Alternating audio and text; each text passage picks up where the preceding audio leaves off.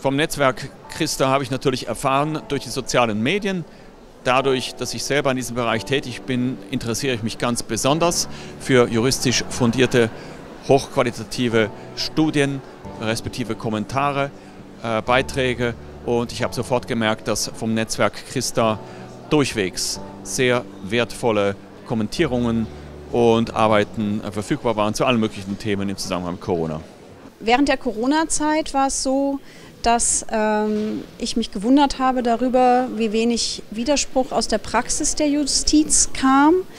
Und dann fängt man ja an zu suchen und äh, recherchiert sowohl im Internet als auch über persönliche Kontakte.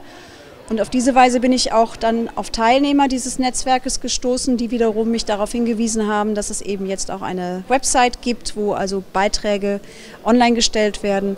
Ja, und die habe ich dann zum Teil eben auch verfolgt und gelesen und daher kenne ich Christa.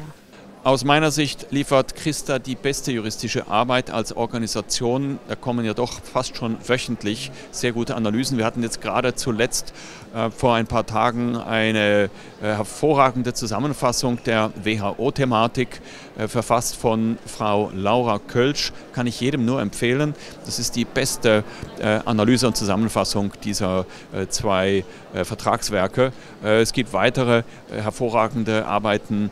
Ähm, ich persönlich werde weiterhin die Homepage natürlich verfolgen und bin sehr dankbar für diese Beiträge.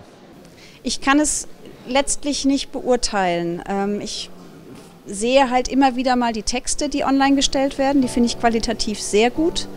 Ähm, was jetzt Christa als Organisation angeht, äh, damit bin ich nicht vertraut. Da kann ich eigentlich nicht viel zu sagen.